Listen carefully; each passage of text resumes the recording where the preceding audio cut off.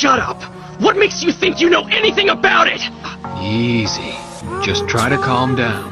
Maybe if I was to kill the most important people in your life, everyone who's ever meant anything, maybe then I'd listen to you. Because maybe then you'd have some idea how I feel.